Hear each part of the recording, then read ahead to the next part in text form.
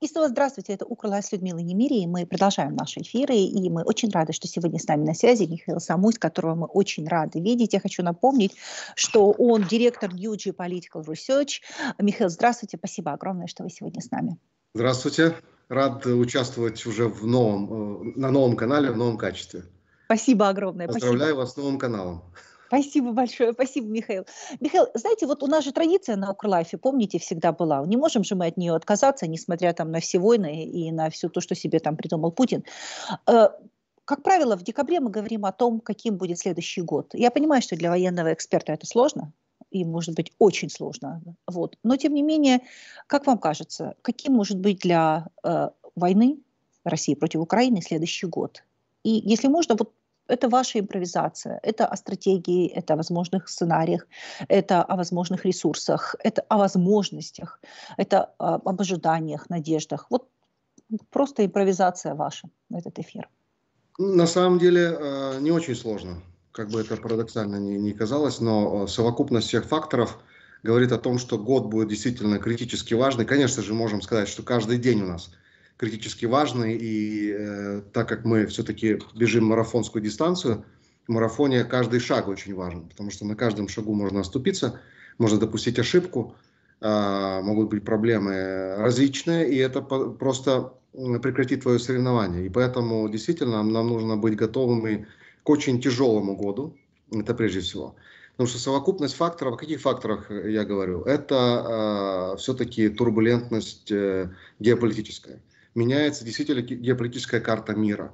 От того, какая она будет, она абсолютно не определена. Какая она будет, это будет зависеть в том числе от нас. Это будет зависеть от того, э, как будут себя э, позиционировать, э, например, европейцы. Они готовы к конкуренции глобальной, или они позволят быть просто объектом этих процессов.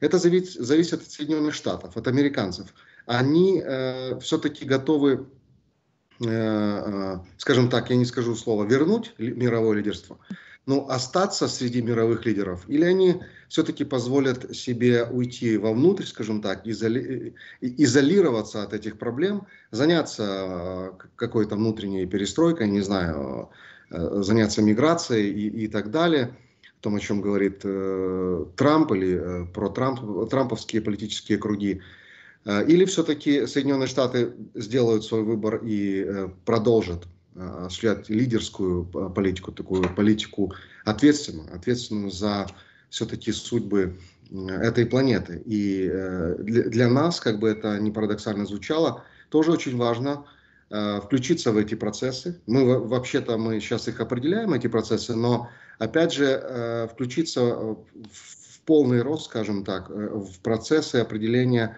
будущего нашей цивилизации. Мы действительно сейчас э, очень активно в этом участвуем. И прежде всего, конечно же, на поле боя. Поэтому вот эти факторы, они уже сами по себе э, формируют очень тяжелый год. Факторы того, что все-таки идут выборы президента Соединенных Штатов, которые и, и, возможно, и сделают выбор, куда пойдут Соединенные Штаты, а с ними и в том числе и западный мир, или э, западный мир призная то, что, или, скажем так, не признает, но сделает неправильные, неправильные выводы из сегодняшней ситуации, примет неправильное решение, например, не, не поддержит Украину дальше, да, вот есть же такой вариант, вот сейчас не поддержат Украину, да, и что будет?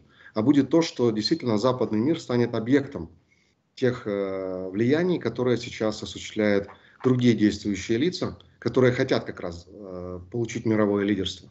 Это Китай, Россия э, хотелось бы ей, но, конечно же, они не претендуют. Есть э, глобальный юг, есть другие силы, которые хотели бы уничтожить окончательно мировой порядок, который установился после Второй мировой войны, после распада Советского Союза и окончания Холодной войны. То есть им этот э, устаревший мировой порядок не нравится. Они хотели бы руководить этим новым мировым порядком на новых принципах. Там ценность человеческой жизни совершенно другая. Там права человека не считаются ценностью. Это, это очень э, сложно понять для нас. Я надеюсь, что европейцы это понимают, для которых, э, в принципе, для Европы э, права человека, ценность человека, она является абсолютной. А сейчас, именно в следующем году, будет решаться этот вопрос. Так мы э, готовы бороться за это, как, как мы это делали тысячи лет, или мы сейчас готовы отдаться на милость тех сил, которые хотели бы превратить нашу планету немножко в другие, в другую экосистему, скажем так, существования человека или человечества. Это, это общий фон. Общий фон очень тяжелый. И поэтому на поле боя действительно будет решаться, в том числе в значительной мере, что будет происходить э, с человечеством, куда пойдет мировая система.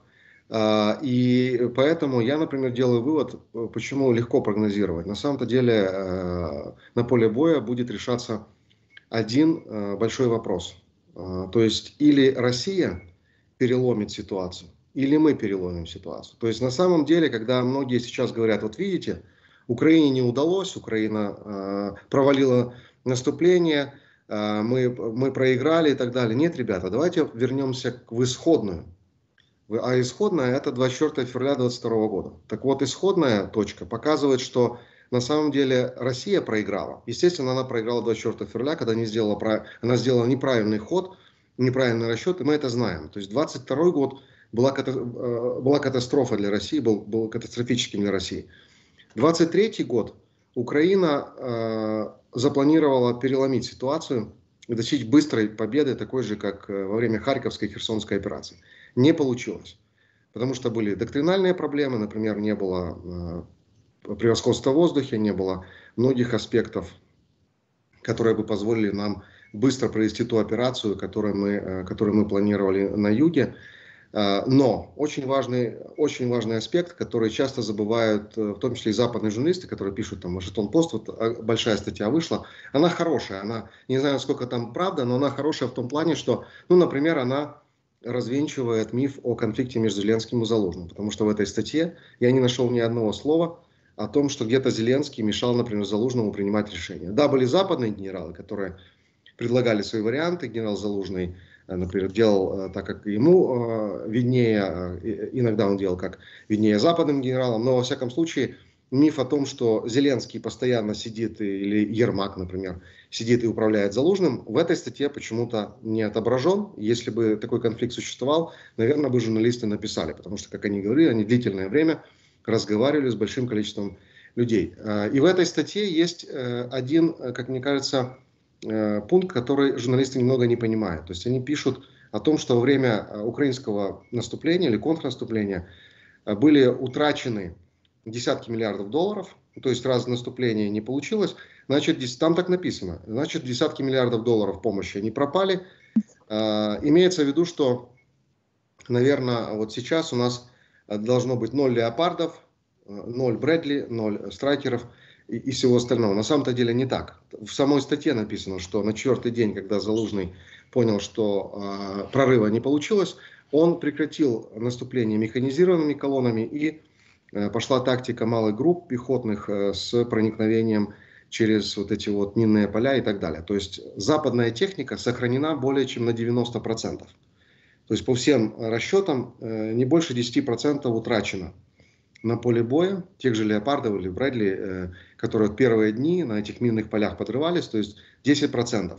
То есть фактически бронированный кулак, о котором писал еще Залужный э, год назад, в ноябре 22 э, года, когда он, помните, говорил, мне нужно для Конечно, победы, да. для прорыва столько-то танков, столько бронемашин. То есть вот этот кулак остался.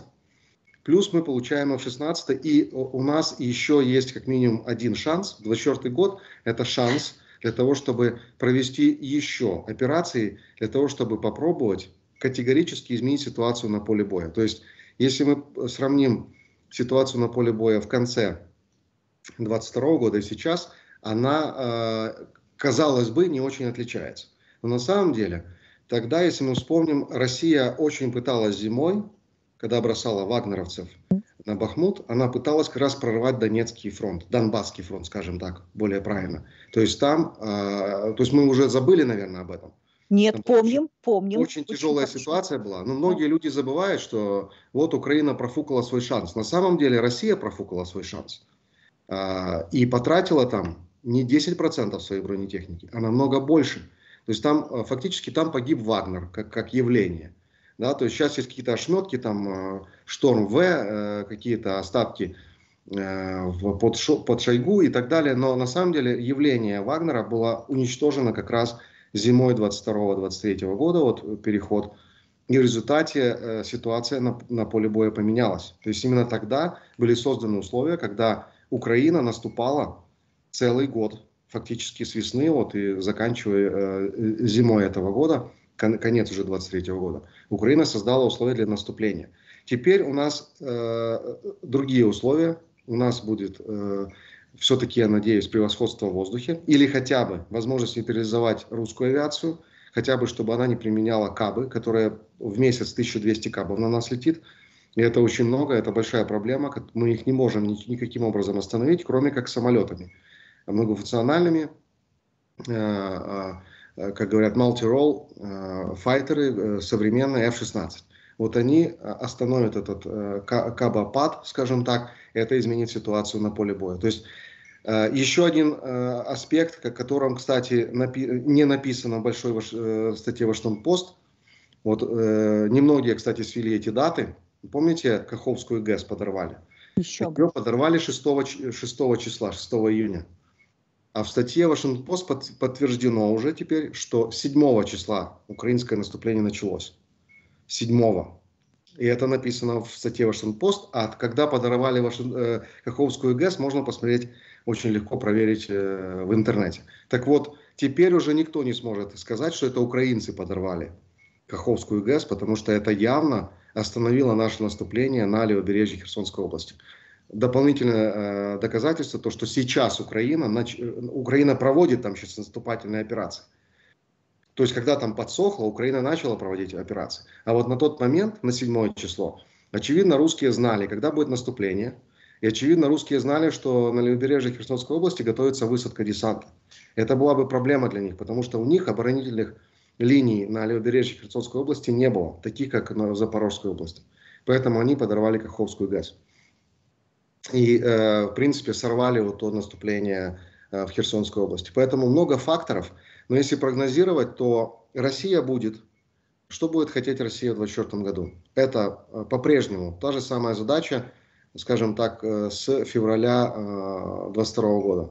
Прорвать Донбасский фронт, оккупировать полностью Донецкую область и, если получится, прорваться все-таки к Днепру, то есть это захватить, собственно, город Запорожье, выйти к Днепру и попытаться создать условия для того, чтобы уже потом Э, перейти Днепр, возможно, не на некоторых участках, и все-таки повторить Николаев, э, Одесса, Криворог и так далее. То есть это, это задача э, у них на 24 год.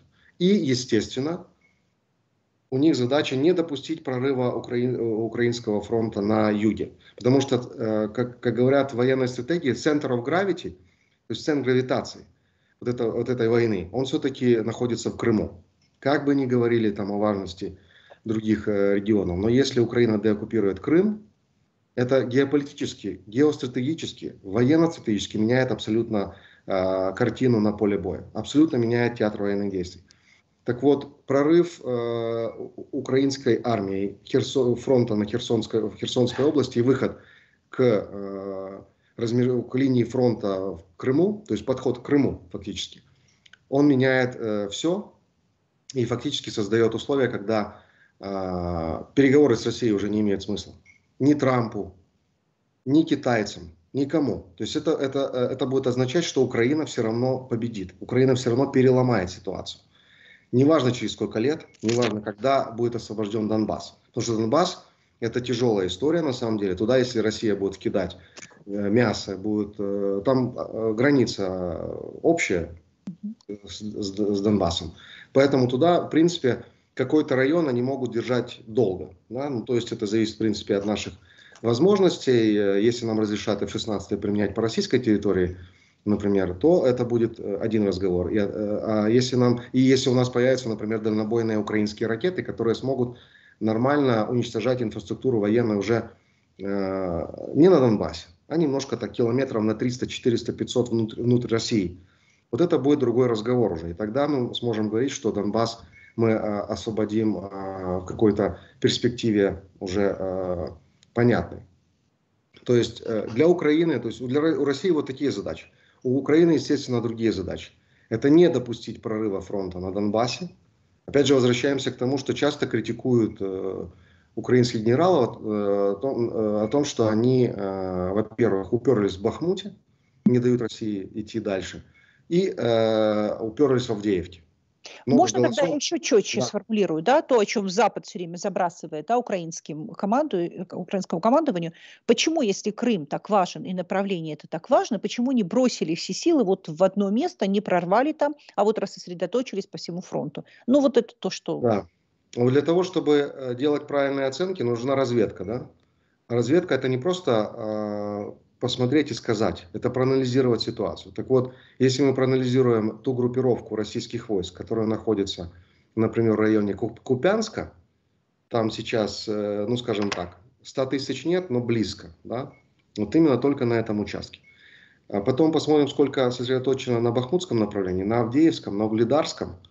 И давайте себе представим, что мы сейчас берем, снимаем все силы, все резервы и перебрасываем их, ну, например, Херсонскую область. Да, вот так вот массово форсируем, как-то пробиваем, э, с трудом, конечно, потому что у нас по-прежнему нет э, преимущества в воздухе, и поэтому кабы будут лететь на войска, будут огромнейшие потери с украинской стороны, потому что любая э, десантная операция, это очень, форсирование Днепра тем более, но это очень сложная операция, особенно массированная. То есть потери могут быть такие, которые ударят э, и по нашей морали, и по готовности продолжать, и вообще э, поставят вопрос об адекватности украинских генералов. А в это время, я только что сказал, в чем состоит главная задача э, российских войск. В это время они прорывают фронт на Купянск, Купянском, Лиманском направлении, идет опять движение к Харькову, захватывается Краматорск-Славянск, естественно, там от Лимана, если Лиманское направление прорывается, Э, Бахмут проходится, идет на э, Константиновку. Ну и Угледар, э, выход на Запорожье и так далее. То есть прорыв будет то, о чем я только что сказал. Именно Россия этого и хочет, чтобы мы куда-то убрали свои войска. Но у них это не получается. То есть они постоянно пытались вот играться с этими резервами, сохраняя свой главный кулак на Купянском направлении. Потому что не зря же они там эту группировку держат. Если бы, конечно же, они сейчас все войска перевели на Херсонскую область, мы бы сказали, видите, русские тоже считают, что центр в гравити, там Крым, вот они сейчас там вот всю группировку вкопались и стоят. И тогда нам действительно совершенно другая бы оценка ситуации была. Сейчас проблема для русских э, состоит в том, что у них нет достаточных резервов, чтобы посадить, например, 200 э, тысяч Херсонской области, 200 тысяч Запорожской, 200 тысяч э, направить на Бахмут 200 тысяч на Купянск, 200 тысяч э, закинуть э, где-то э, на Волынское направление, 200 тысяч на Киевское и вот начать эту операцию. Операцию, которую они, наверное, должны были бы все-таки планировать вот такими силами 24 февраля 22 года, а не, а не 100 тысяч пытаться украинскую армию победить. Но вот на данный момент ситуация состоит таким образом, что я, например, считаю, что то, что украинские силы не дают э, русским пройти Донбасс, и захватить, и выйти на новые рубежи. Потому что, когда будет пройден Донбасс, э, э, Россия не остановится, естественно. Потому что прорыв на Донбасс будет означать огромные потери среди украинских войск, даже если Украина отойдет просто куда-то. То есть нам нужно будет готовить э, фортификационные линии где-то в глубине Украины. А опять же, без нейтрализации превосходства в воздухе это будет просто означать, что мы позволим российской авиации зайти вглубь Украины. А это будет совершенно другая ситуация. Уже кабы полетят на другие города. Если кто советует, просто подумайте, что когда кабы полетят э, в некоторые города-миллионники. Потому что русские запускают их с 50 километров. Вот приближение 50 километров э, к какому-то из городов, это позволит э, работать кабами. То есть я считаю, что пока, вот 23 год, украинская армия, да, у нее было неудачное наступление – но э, и у русских не получилось ничего в наступлении. А давайте вспомним, что это Россия начала войну. Это Россия хочет Украину уничтожить, а не Украина Россию. Вообще Украина э, никаких э, намерений по поводу России не имела никогда. За свою историю у нас э, так сложилось, что мы больше хотим вступить в Европейский Союз и жить как нормальная европейская страна, а не пытаться там э, Курскую область захватить. Хотя дождутся, наверное, уже теперь. Но это уже другое, совсем, совсем другая история. То есть На 24 год у нас, например, сейчас задача не допустить, опять же, прорыва на Донбассе. То есть, опять же, эти все Купянск, Лиман, Бахмут, Авдеевка и э, Угледар и другие, Маринка, конечно, это все направления, которые Россия продолжает давить, неся огромные потери. Мы это знаем, это видим по э, не только сводкам Генштаба есть очень много видео, есть асинтеры, западные асинтеры, которые считают технику на Авдеевке. Вот последние данные, приблизительно где-то 300 с чем-то единиц бронетехники на 30 с чем-то. Вот такое соотношение э, потерь с, октября месяца. Это то, что посчитали э, визуально, видео, фото, доказательства западной асинтеры. Это не, не украинская сторона. У украинской стороны другие данные намного больше потерь русских, там личного состава потери э, тысячи и так далее. Э, но э, есть конечно же, политический фактор. Первоначально, когда они там, в начале октября штурма, пытались штурмануть, вот так прорвать нахрапом украинскую оборону на Авдеевском направлении, они, конечно же, хотели где-то вот, чтобы к Новому году уже был прорыв далеко дальше, чем. То есть я, я так понимаю, что замысел бы какой? Идет прорыв на Авдеевском направлении. Естественно, украинские войска начинают перебрасывать резервы с юга, с Купянского направления. Здесь идет прорыв на Купянском направлении, на Лиманском. Идет прорыв на э, Краматорск-Славянск. Здесь уже начинают украинские войска отступать. Э, идет удар по, на Угледарском направлении. Ну и вот опять э, смотри выше то, что я говорил, что в принципе задача по э, оккупации Донбасса, наверное, планировалась где-то к выборам всего Донбасса. Но в связи с тем, что украинские войска продолжают, несмотря на увещевание, что давайте оставим эту Авдеевку, давайте оставим этот Бахмут, уйдем оттуда, продолжают там стоять, в результате э, к выборам у Путина ничего не будет. Ну, не знаю, что там, ну, максимум. Да, они могут стереть с лица земли Авдеевку, как с Бахмутом, и сказать, что мы, э, что мы захватили вот Авдеевку. Но это будет не захват Авдеевки, это будет просто, э, э, я не знаю, с военной точки зрения абсолютно бессмысленная операция. То есть, когда ты уничтожаешь э, там, тысячи своих войск, там, сотни своей бронетехники и просто уничтожаешь городок какой-то, ну, это не, не, не военное действие, это какой-то идиотизм, честно говоря. Но вот Россия может это максимум сделать к выборам, вот, совершить вот этот очередной идиотизм, как с Бахмутом сделали, то же самое они могут сделать с Авдеевкой, но это будет не военный успех. Это просто можно, можно будет представить как политический какой-то там информационный успех, но это явно не военный успех. То есть после этого у них не откроются какие-то новые, скажем так, э, направления, оперативный простор для того, чтобы ринуться вперед и выполнить эту задачу под выборы и захватить весь Донбасс. То есть это, э, это уже недостижимо. Они сейчас тратят, вот смотрите, что получается, из чего я делаю вывод по прогнозам на 2024 год. Они сейчас вкладывают все ресурсы для того, чтобы до выборов, то есть до марта, любыми способами, любыми силами захватить Донбасс. Ну, во всяком случае, сейчас уже, конечно же, о Донбассе они, наверное, не мечтают, но примерно то же самое, что планировал покойный Пригожин. Он же тоже в прошлом году ровно точно так же. Сейчас прорываем Бахмут, выходим на Константиновку, а там уже чуть-чуть и, э, в принципе, Краматор-Славянска, дальше там все это валится и все у нас будет хорошо. То же самое они хотели это сделать, сейчас у них это не получается, но они будут бросать. Что получится в апреле примерно? То, что у них э, э, не будет достаточно сил, чтобы дальше продолжать это наступление. То есть получится тот же самый вариант, как и в прошлом году. И примерно с апреля, мая Украина уже будет вести наступательные действия.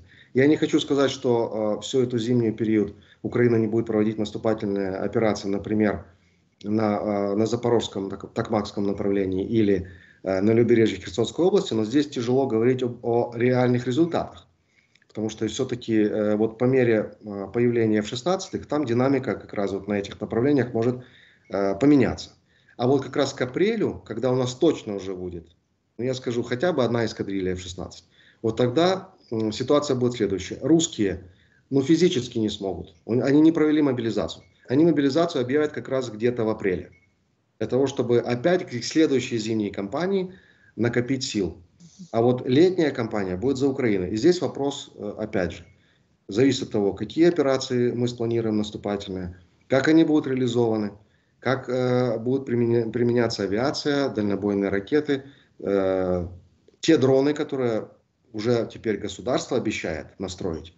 не только волонтерские инициативы. Посмотрим, как это будет реализовано, как министр Техпром включится в эту работу, как э, коррупцию прибра- э, убрали вот, э, в госсвязи, госпецсвязи, которая, оказывается, взятки брали за то, чтобы допускать беспилотники к службе и, и так далее. То есть посмотрим, как это будет реализовано.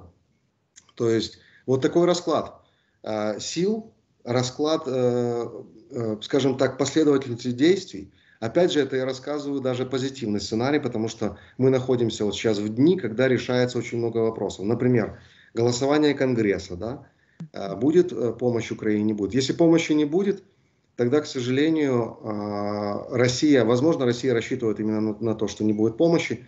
Да, они объявят в апреле мобилизацию, но и у Украины не будет сил, чтобы действительно провести какие-то мощные операции. Будут попытки, возможно, но без помощи американской, если у нас, например, боеприпасов не будет, то каких наступательных действий? Мы тогда действительно переходим в стратегическую оборону, мы сможем тогда заливать бетоном максимально и минировать максимально все направления, потому что мы входим э, в ситуацию, когда мы действительно э, не можем продолжать дальше наступательные действия. Если у нас не будет помощи военной Соединенных Штатов, даже если, э, если немцы, европейцы будут нам помогать, у нас все равно э, не будет базовых вещей даже. Я уже не говорю там о каких-то супер технологических э, системах. Поэтому вот то, что я говорил, это позитивный сценарий.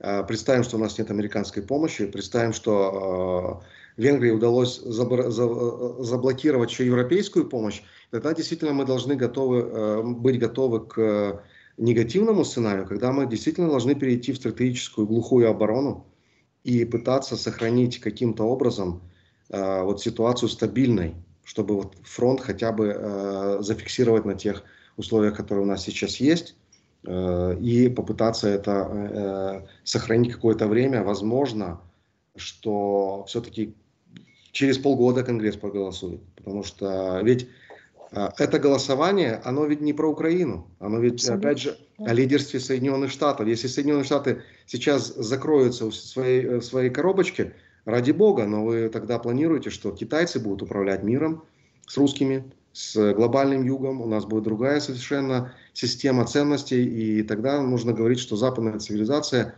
уходит в себя, э, там, где им удается там, сохранить э, какие-то островки демократии, а мир будет развиваться совершенно по-другому, в другом направлении, и Украина здесь э, не в худшей ситуации еще на самом деле будет, если так посмотреть. Есть места в мире, на нашей планете похуже. Поэтому это, это вот то, что мы сейчас видим, это на самом деле возможно изменение позитивное в польском парламенте, наконец-то приход э, Туска, решение, возможно, блокадного вопроса, потому что если блокада, например, продлится еще месяц-два, ну то есть ситуация будет еще э, хуже, потому что даже если американцы подпишут помощь, у нас логистика просто не сможет э, идти а, эффективно и создавать условия для того, чтобы в следующем году проводить наступательные операции, чтобы достаточно было боеприпасов. Поэтому вот такой прогноз, он, а, в принципе, а, реалистичный. То есть я не скажу, что он позитивный. В отличие от прошлого года, когда мы говорили, да, он сейчас создались условия, Тогда мы исходили из таких, кстати, вот такие, э, у нас же были такие вот э, параметры. Запад вводит санкции, и они будут работать. Но на самом-то деле они не сработали. Россия заработала за 4 февраля 2022 года 550 миллиардов долларов. Ну, о чем мы можем говорить? То есть, э, давайте все-таки добьемся, что вот в 2024 году эти санкции начнут работать хотя бы процентов, ну, давайте на 30, чтобы не 550 миллиардов, а хотя бы 500 заработала Россия, ну не знаю. Хотя бы хоть, хоть так вот сделаем, а, чтобы они не могли закупать микрочипы, технокомпоненты. Это тоже можно сделать на самом деле. Все эти пути возможности обхода, они известны, только нужно немножко напрячься. Напрячься немножко, возможно, иногда ущерб себе. Но что мне нравится вот на данный момент, что очень поменялись э, немцы, очень поменялась позиция Германии. Причем не только политических сил, а именно э, э общества. Немцев как, как э, сути Германии, они поняли, что они совершили ошибку. Я думаю, что даже социал-демократы, кстати, признали, что их э, политика в отношении России была ошибочна. Они еще до конца не сказали, что они признают там провал, э, например, Бухарестского саммита, до конца еще не признали, но это их была ошибка большая, большой ошибочный шаг. И э, немцы очень сильно меняются. Это, а это означает, что Европа будет меняться, потому что немцы могут задавать лидерский тон. Э, поляки, к сожалению, лидерами не стали. Вот они спустились до такого уровня, э, скажем так, не очень э, хорошего. И лидеры не могут быть э, в образе, когда ну, э, блокируют 10, 10 дальнобойщиков или э, псевдодальнобойщиков блокируют границу во время войны, но это немножко не лидерские поступки, скажем так, не безответственные, которые играют совершенно против Польши и ее веса, а, поэтому э, Польша не может сейчас быть лидером Европы совершенно. Возможно, Туск, Туск удастся немножко восстановить эту ситуацию. Поэтому э, прогноз вот такой, но э, я не скажу, что он плохой. Просто нам нужно быть э, готовыми к тяжелому году, напрячься, сконцентрироваться, и э, у нас все будет хорошо на самом деле, если мы сконцентрируемся. Потому что э, в прошлом году немножко мы, да, говорили, год победы, все уже как бы, сейчас мы прорвемся, сейчас мы все сделаем. А, и немного, наверное, было ожидание вот этой быстрой победы, оно немного э, многих расслабило. Сейчас э, все должны напрячься и, и понять, что от этого года зависит, возможно, судьба всех нас, как мы будем жить не только в 2025 году, вообще, как мы будем развиваться в, э, в следующие там, 100 лет, 200 и так далее. Михаил, спасибо огромное. Спасибо, что нашли время быть сегодня с нами. Спасибо, очень рада вам. Спасибо, спасибо за приглашение. Спасибо. Михаил Самусь был сегодня с нами на связи, за что мы ему страшно благодарны. И, конечно, признательны вам, наши спонсоры на платформе Patreon. Оставайтесь.